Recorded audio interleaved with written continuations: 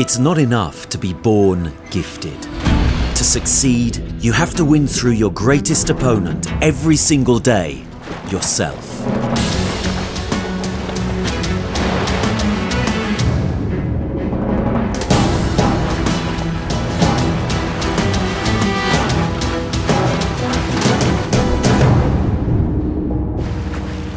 If you can do that, luck will help you outplay the whole world.